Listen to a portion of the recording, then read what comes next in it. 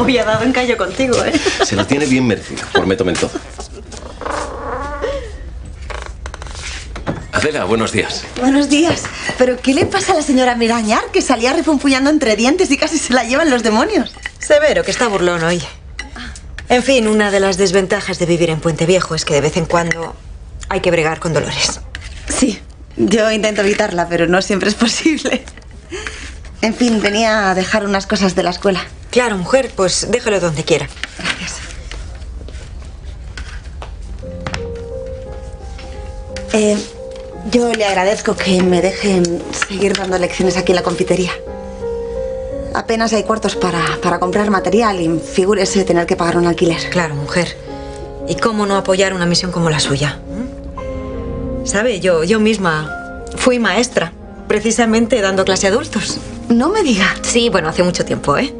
Y al poco de llegar aquí, colaboré en la organización de una escuela que también pretendía alfabetizar a los adultos. Bueno, esa, esa fue una época maravillosa. Y volverá a serlo.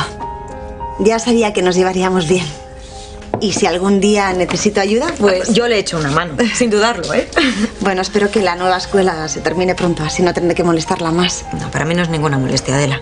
Usted puede venir hasta que se abra esa escuela. Para mí es una alegría verla por aquí. Supongo que más que la visita que recibió ayer.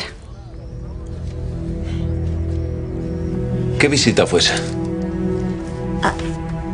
Yo, yo pensaba que... Nada, no... Severo, es que no quería que te enteraras, porque sabía que te enfadarías. Ayer pasó por aquí la Montenegro. ¿A qué? Pues a qué va a ser, a soltar un poco de su veneno. No descansas, Sarpia. Sabía que asomaría tarde o temprano por aquí, pero se ha dado mucha prisa. Sí, ya sabíamos que en cualquier momento se podía presentar para incordiar. Te juro, Candela, que como vuelva a asomar le diré cuatro cosas. ¿Ves por qué no quería que te enteraras? Severo, esa mujer es capaz de sacarte de quicio, de hacer que cometas cualquier locura si se mete conmigo. Por eso no quería regresar. Mire, será mejor que guardemos los libros ahí dentro, ¿le parece? Sí.